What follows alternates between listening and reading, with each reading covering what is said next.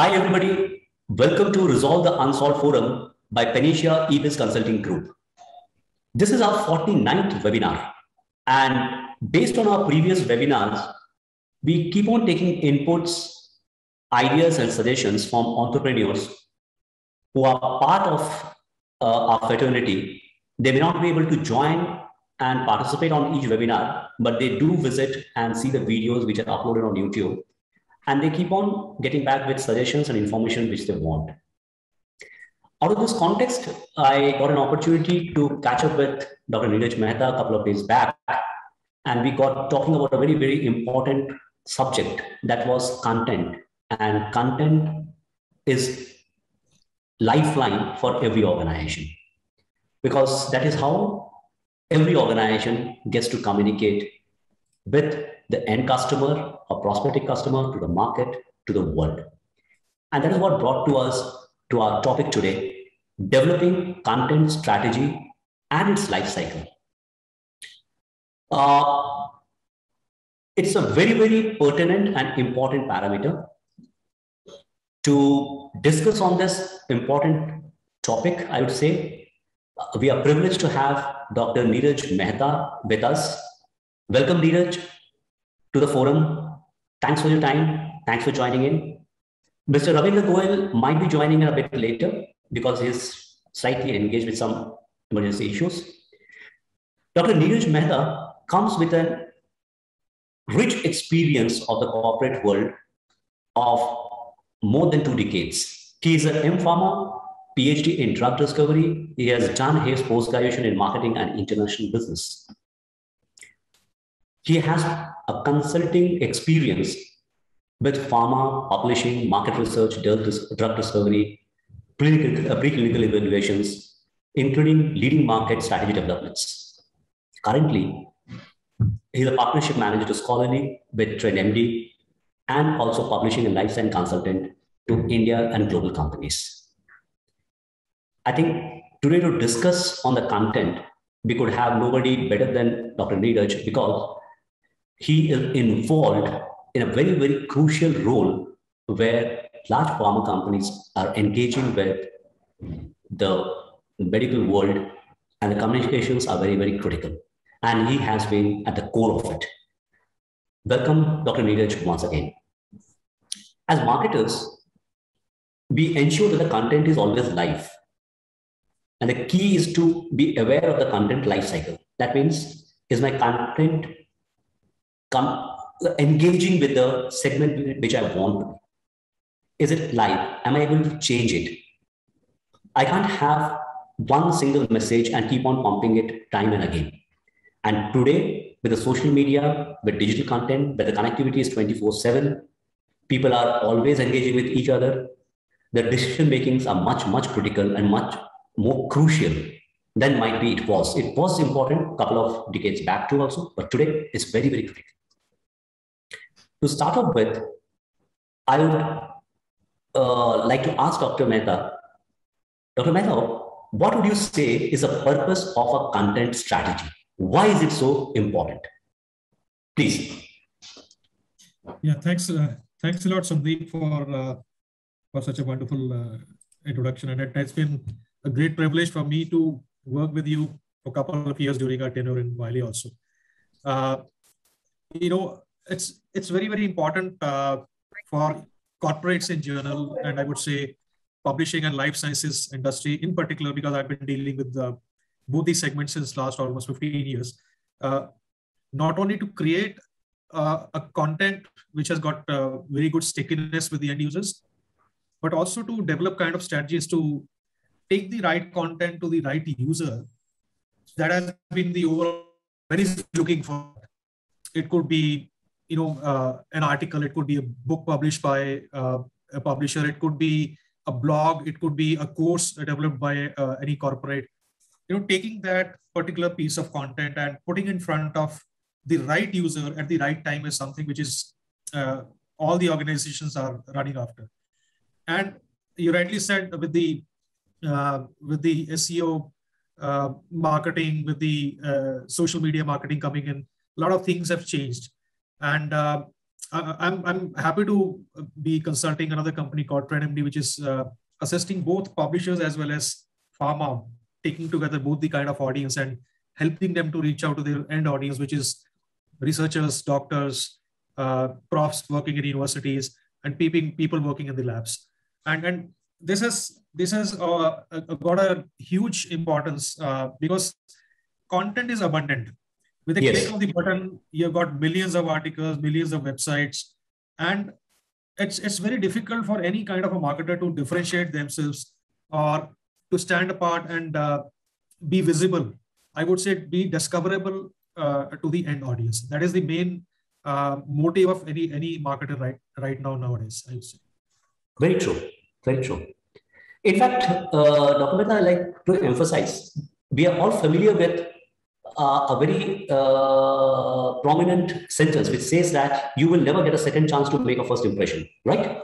Absolutely. So the impact, as you rightly pointed out, one could create through the website, through the communication uh, channels, through the literature, through the published materials which are going on, keeps the segment engaged and involved. That's very, very crucial.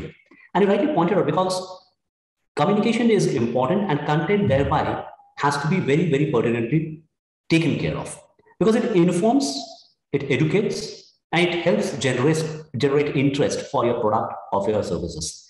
And that's the purpose of content strategy. Uh, to bring in a case in context, uh, Dr. Mehta, would you like to share at this stage before we go further any case, maybe without naming any organization as such, where you might have experienced a content, proper content strategy actually worked wonders?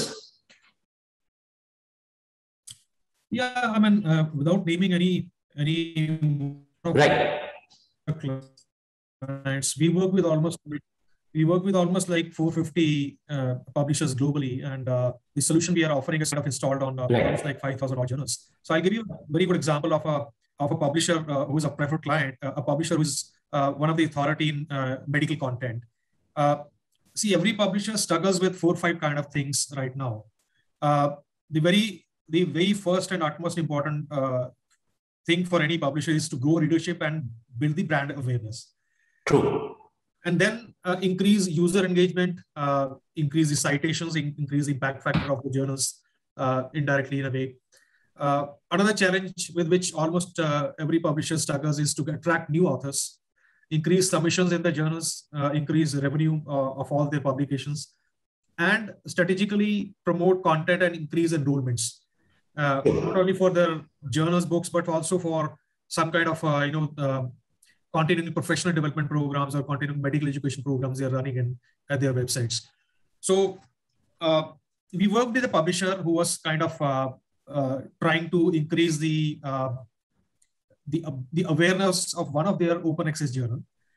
And uh, we as a solution provider, what we do is uh, we kind of install a very powerful widget free of cost on journal websites.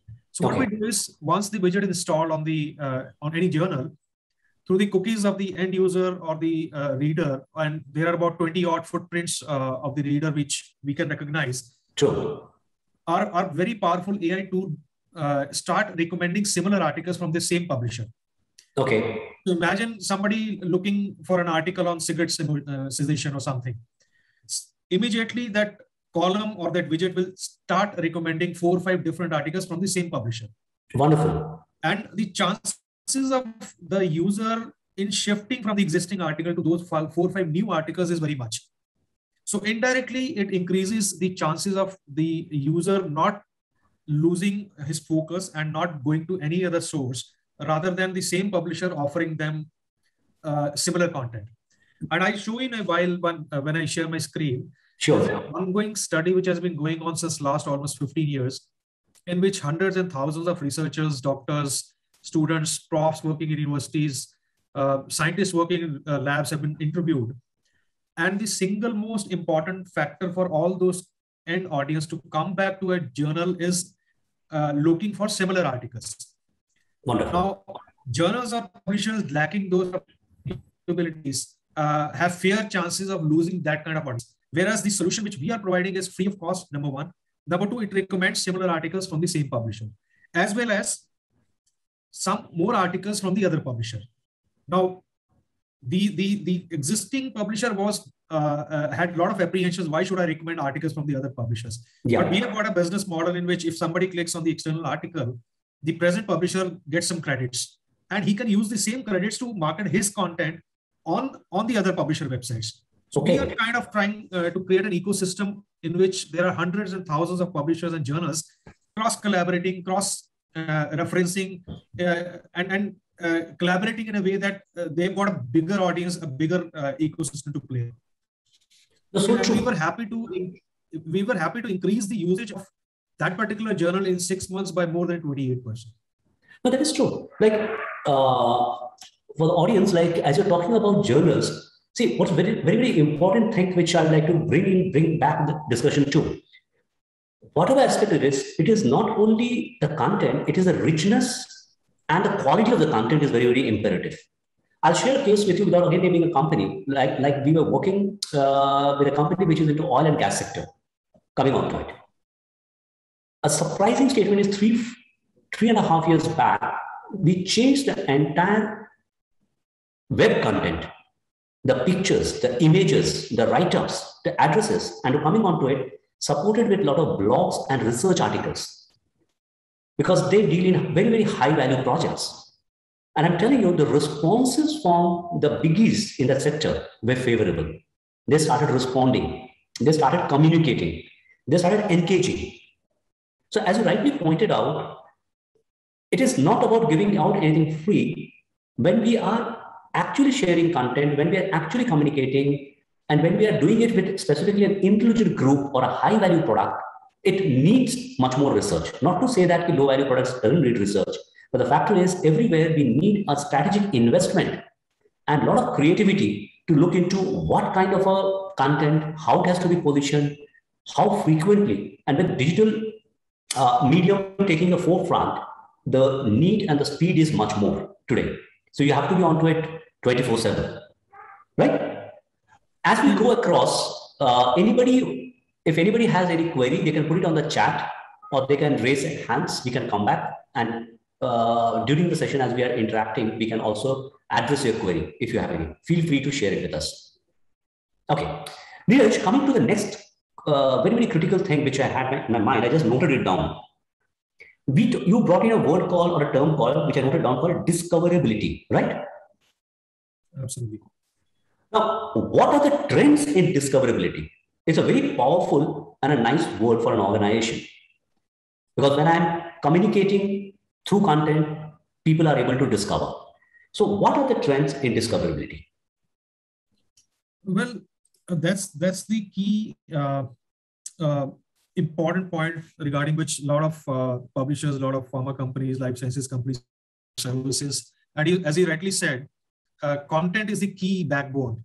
Uh, it is very important to create a crispy content which increases stickiness of the end users. They, they love to come back to the site or they like to spend more time on your site rather than the, the, the competitors. But more important becomes the discoverability. Uh, how would you differentiate and how would you put front put in front of your end users the right content at the right time? Okay. Now, it may happen through several channels. I remember uh, a decade ago, uh, brochures, pamphlets, you know, sending letters, emailers, and other things were the key uh, key process through which the marketing was done by publishers and uh, other other corporates. But moving on, AI is playing a, a, big role in in making your content discoverable. Yes. Uh, now, as I was explaining you the the the, the key model on which TrendMD works, uh, we kind of uh, read the mind of the end user who is consuming the content. So, what kind okay. of articles, what kind of content he has been consuming in the past, what kind of content he would love to read, what kind of content he's working on, what kind of research he's doing right now. And we put forward the right similar content in front of his eyes so that the okay. chances of him you know going to those kind of similar content is very high so that is how we make the content discoverable uh, in front of the right audience at the right time if I can uh, share my if I could share my screen, I'll, I'll, I'll I will give you I will give you the host rights. I made you the host. I just you can share your screen. Yeah, yeah. So what we do is uh, we install. Uh, just hold on for a while. So this was uh, the widget I was talking about. So I'm right now uh, on the homepage of a publisher who work with us. So this is the widget we have installed on the journal. And the widget immediately start recommending similar articles. So, okay. So our AI tool basically is reading the mind of the uh, reader of this content and recommending similar articles, thereby increasing discoverability or presence or appearance of these articles in front of the end user. So the chances of the user going in for similar content is very, very high. The consumption of the content of the publisher increases multi-folds. And this is being powered by TrendMD. This, this is absolutely free. We are kind of creating a big ecosystem. Okay. Yeah. So uh, as I was showing, uh, uh, probably you know it's consuming a lot of bandwidth. I was showing you that uh, once the reader is on on any of the journals, uh, our AI tool kind of uh, start recommending similar articles articles would which the end user would love to read, thereby increasing the discoverability of the content being published by the publisher. So that is how we were able to increase the usage of a particular journal or a particular publisher by more than 28% in less than six months. Okay. So what you're recommending and what you are uh, sharing with us is with the use of technology, with the use of artificial intelligence, today what is happening is if I have a website of my company or my product or my information which I want to share, and I'm reaching out and communicating to my end user or my partner, I can engage qualitatively by identifying his or her interest area and accordingly share more information which helps me engage with the end user or my partner constructively right?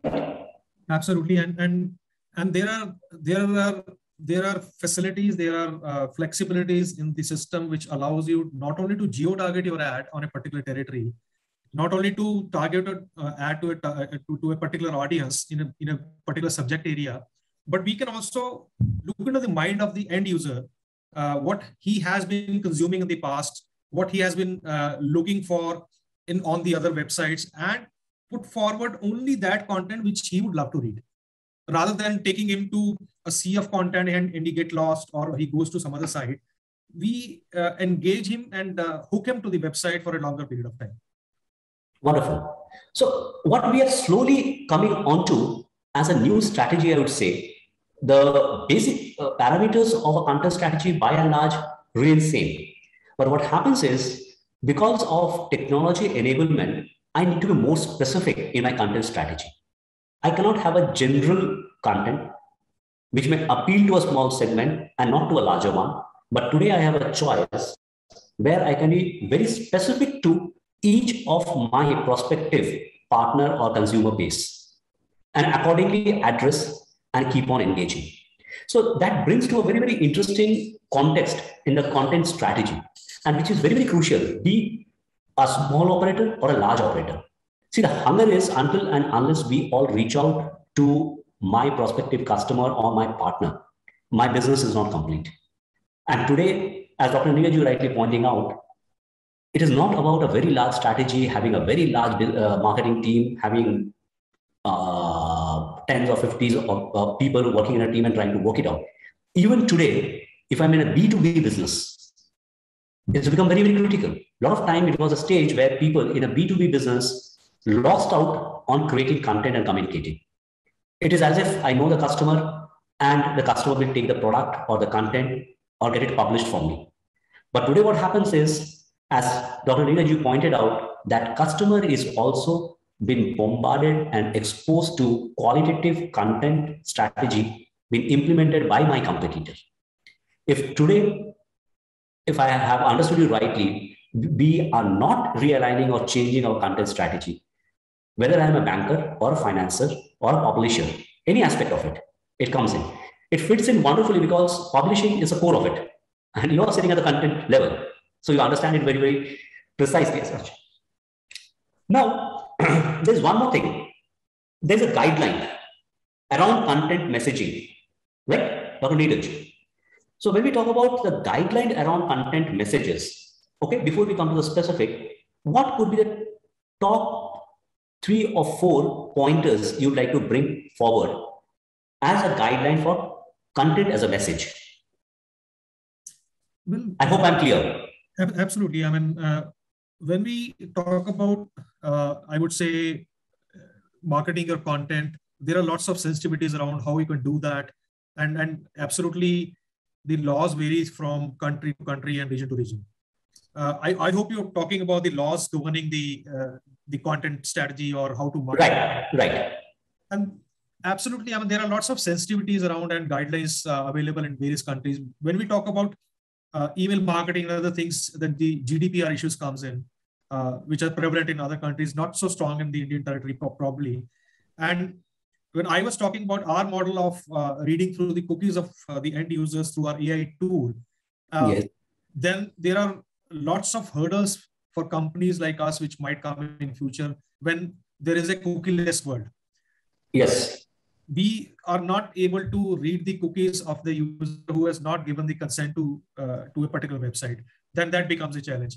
So these kind of guidelines uh, they govern the kind of uh, uh the models on which a lot of marketing companies uh, have to redesign their marketing strategies moving on.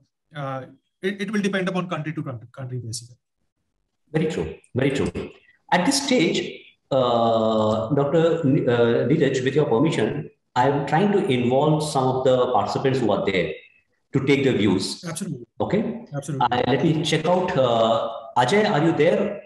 Can you hear us? Okay. Ajay is also there. Yeah. Uh, let, let Ajay, I'll come to Sanjeev you also.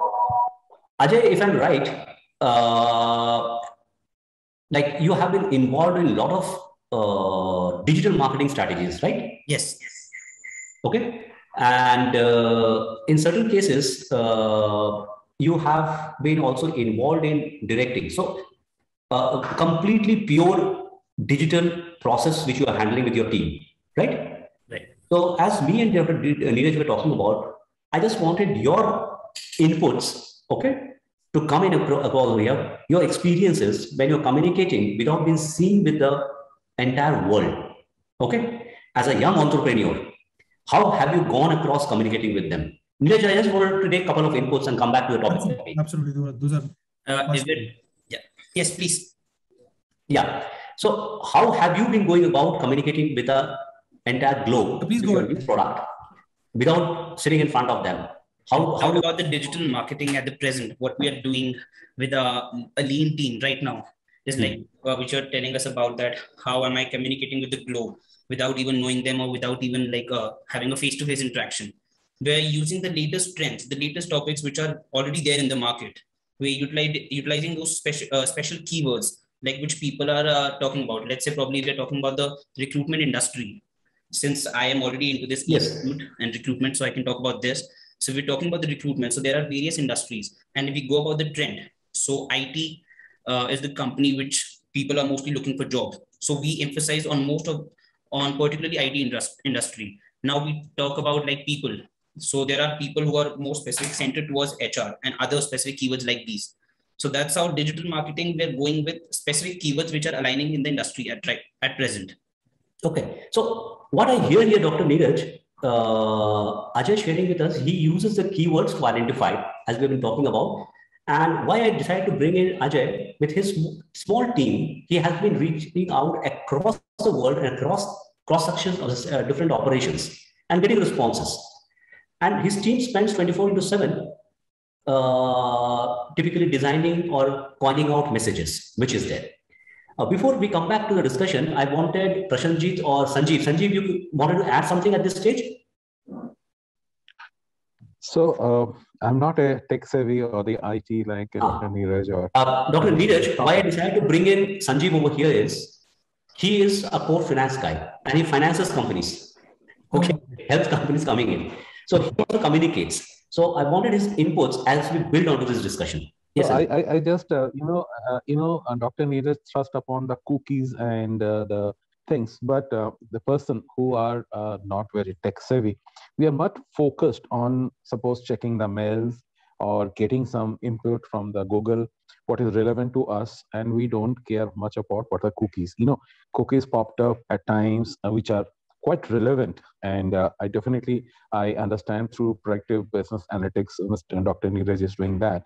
You know, I have some background from data analytics. And the point is that, uh, you know, uh, we are talking about very specific uh, kind of uh, customer or target audience for this cookies.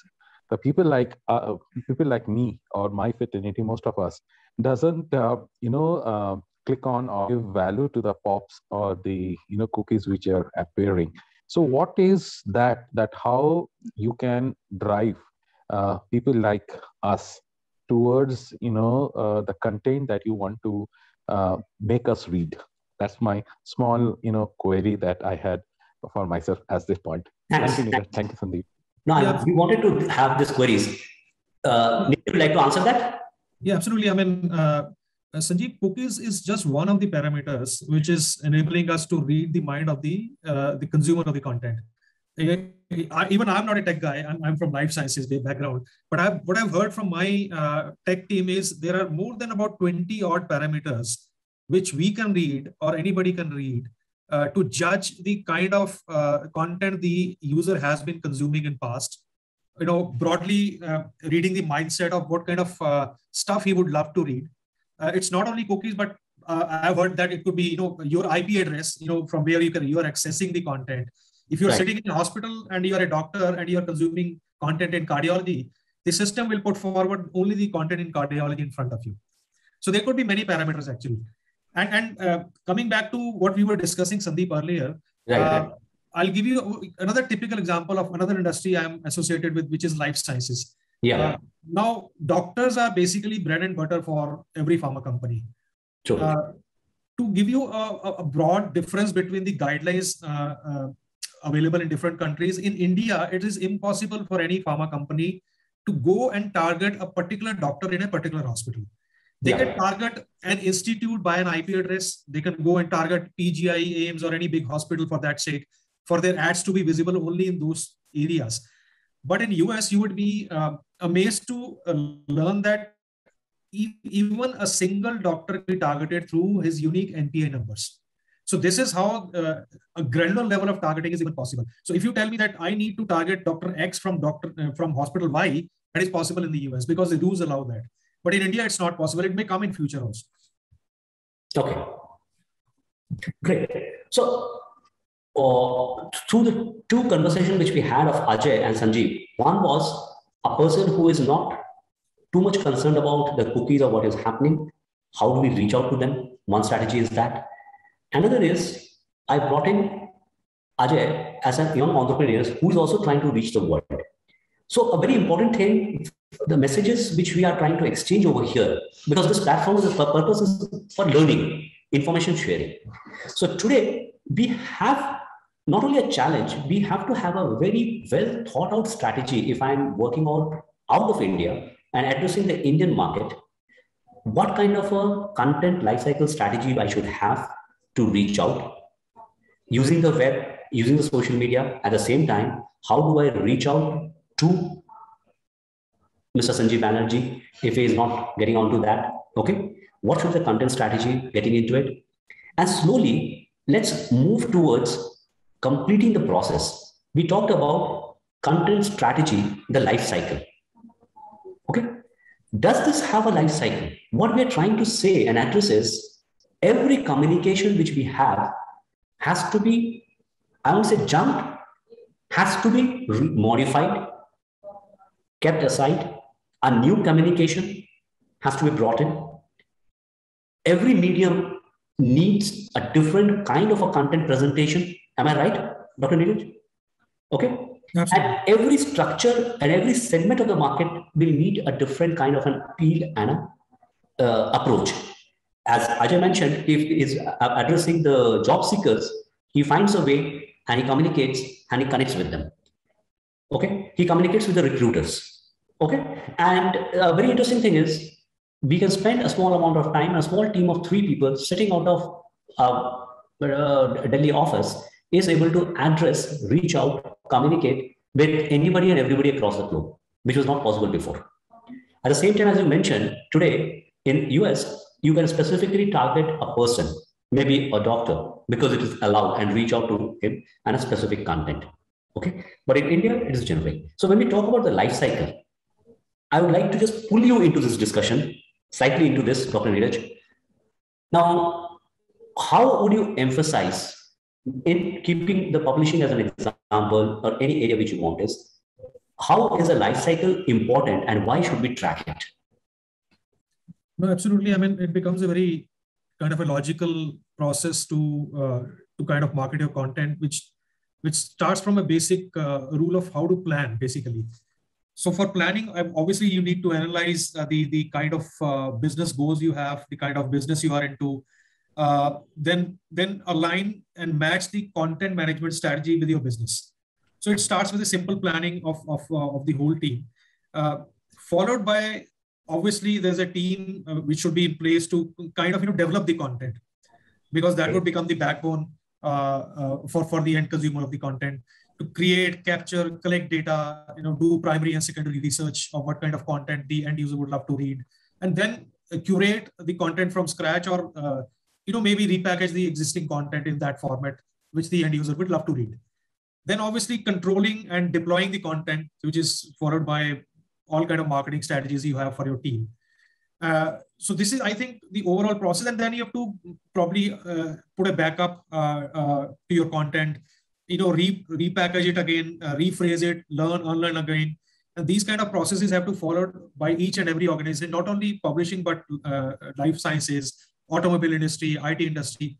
Okay. The basics remain the same for for uh, for the whole uh, content strategy management. So staying with this, if I may ask you, what are the key aspects of great content that drives readership? Okay, so I mean, it it all depends upon because uh, even if you're targeting a particular audience, there are further sub segments in the audience. Uh, so age could be one criteria uh, sex could be one criteria with respect to some some businesses, I would say. Uh, but the utmost important uh, thing for the content is it should bring uh, the latest developments in that particular field in the front of the end user. So okay. it, it shouldn't be stale. It shouldn't be uh, an old content. It should be crispy. It should be talking about the about, about the recent developments happening in that particular subject area so that is probably what I feel, even as a researcher or, or coming from pharma background. Uh, that is the kind of content which probably I, would also love to read, which enhances my skill sets, which uh, increases my knowledge about a particular subject area, which uh, kind of educate me on what's happening around the globe or what's happening around me in that particular uh, industry. That means uh, when we're talking about a great content, and what drives leadership. Uh, today, what we also experienced, Neeraj, I was sharing with you, people are exposed to a lot of information. Not doctors, general public, if I'm talking about a school kid also, he or she has access to information, data. Today, if I'm talking to my son, he has a lot, lot of information about an institute or about an opportunity, which I need to sometimes catch up on. Okay. So that means it is oh, I'm trying to read and dive deep into what you mentioned. Today, the content has to be well researched, have to appeal to an informed set of audience who have access to information at the click of the button. Okay, so any segment, be it finance, be it any area, the person can go online, do a comparison, do an analysis, and will stick to his or her area of interest. So that means the content lifecycle in terms of reflushing, revisiting, realigning it, reworking it, modifying it needs to be done as a constant, uh, on a constant grind. And according to taste and likes, we have to keep on identifying using AI systems and others, and it can be accordingly curated and messaged across. Wonderful. That was great. Uh, before the, the, one of the things, one of the thing which uh, one of the thing which I can add over here, Sandeep, is uh, from my experience in uh, uh, selling into pharma companies. Yes. If the content is being curated or uh, you know coming from an authority, if the content is coming from maybe a national or a global association or a society, if the content is being curated by experts, then that carries a lot of value.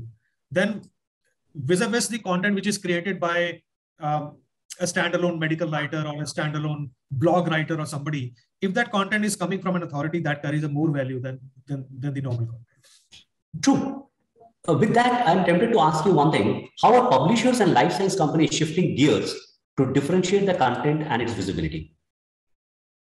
Yeah, so I mean, uh, as I as I mentioned earlier, from from participating in B2B conferences, from distributing brochures and uh, whatnot, you know, in print, companies have migrated to not not only the the social media marketing, but also uh, into specific marketing which is being offered by company like ours.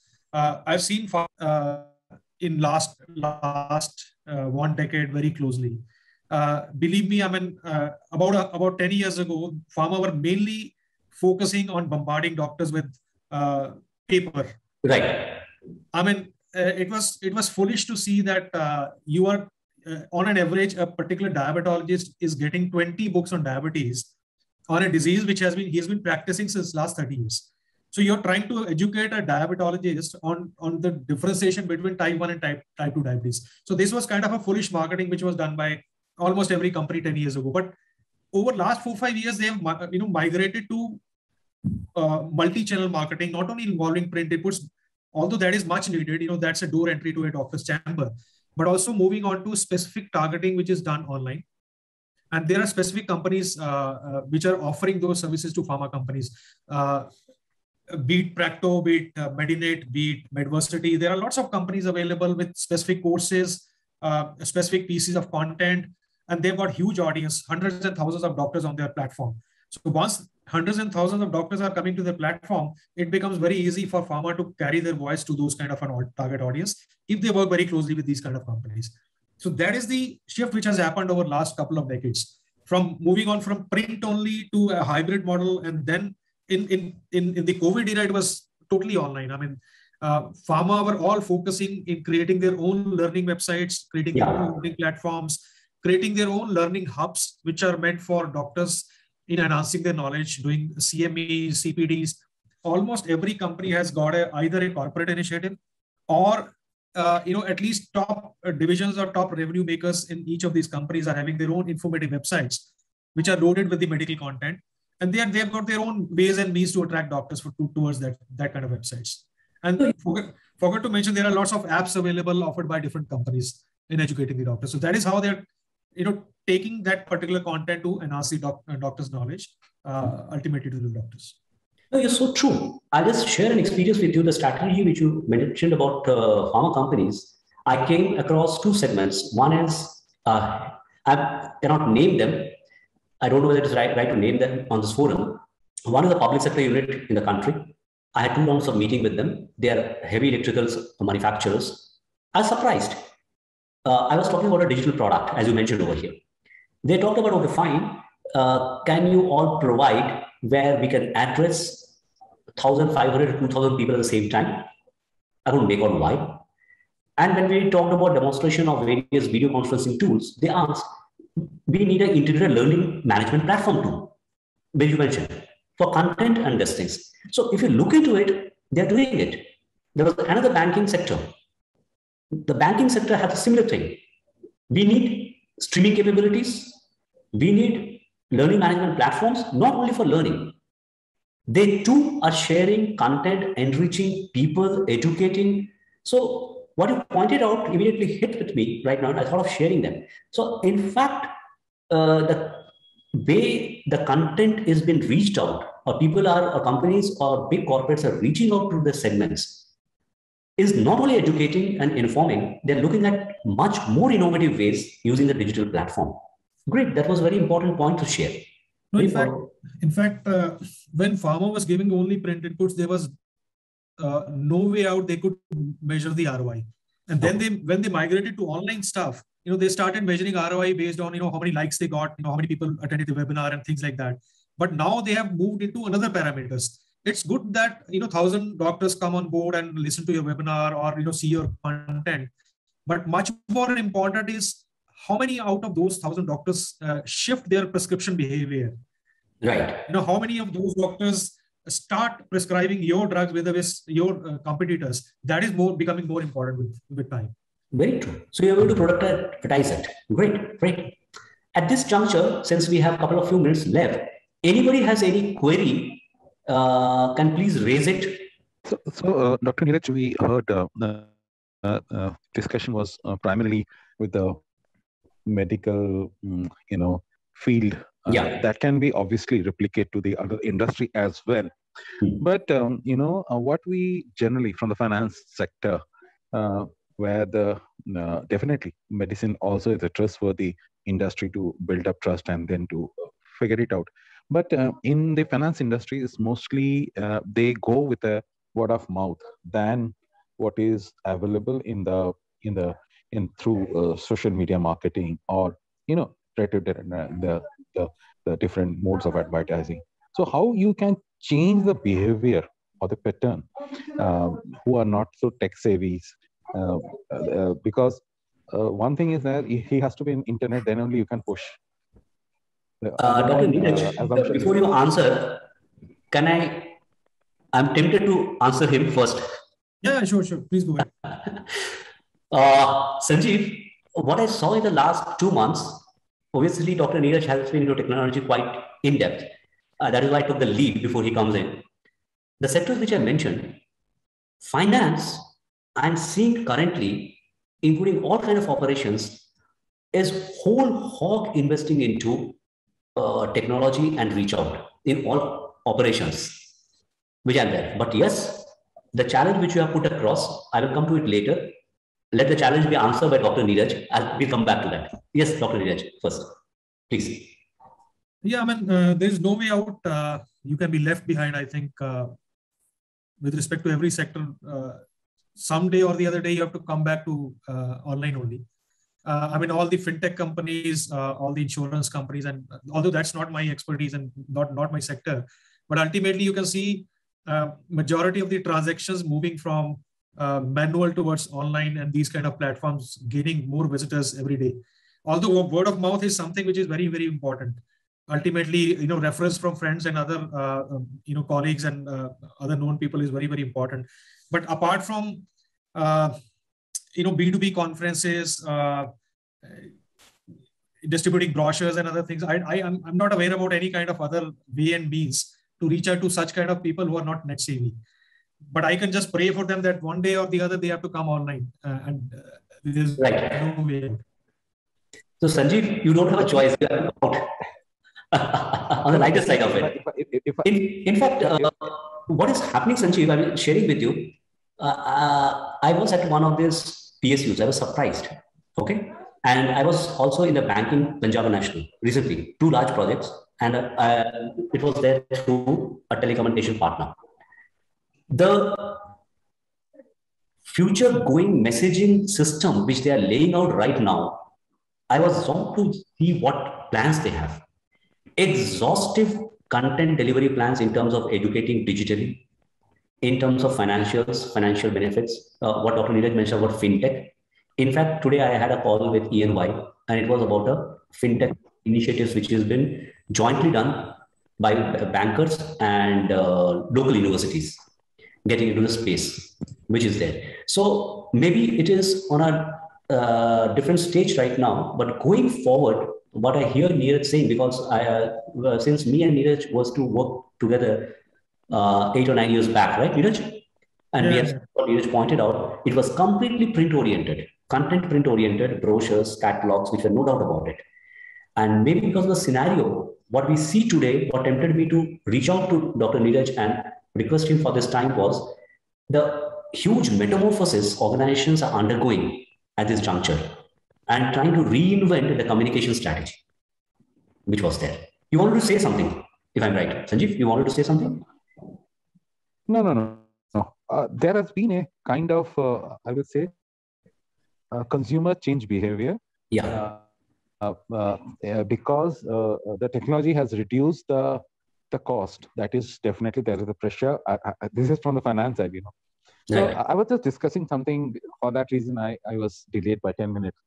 Is that I was talking to a guy, one of my counterpart in Middle East, and he is also working with a fintech company where you know the interface doesn't require any customer the credit decisions are taken you know uh, based on the country's data, past data.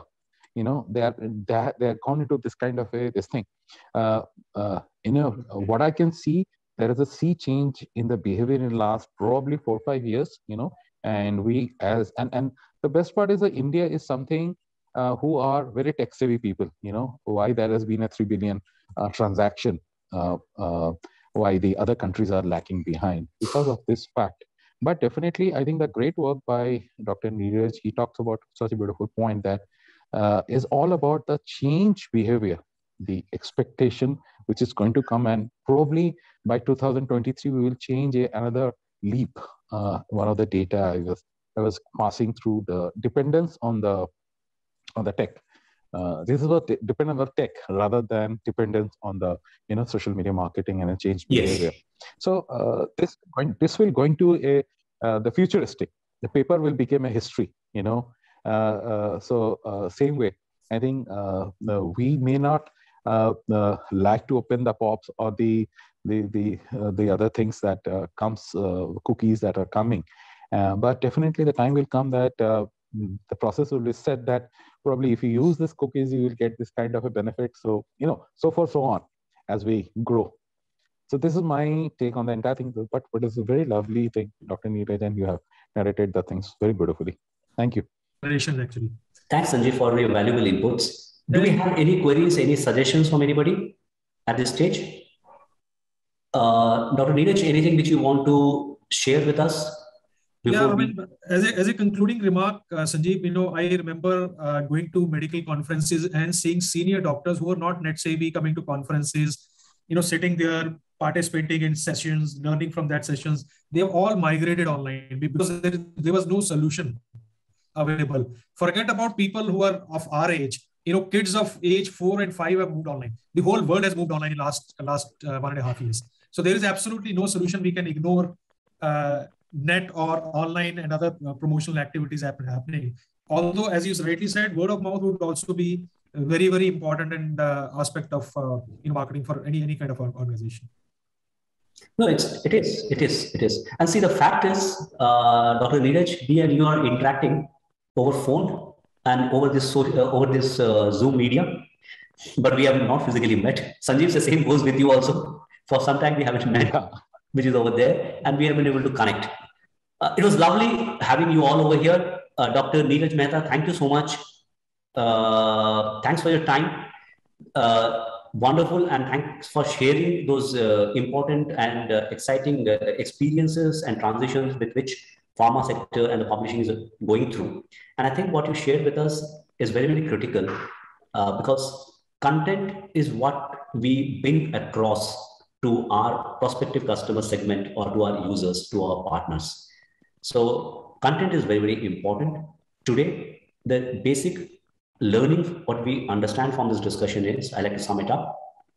It has a life cycle of content which we create.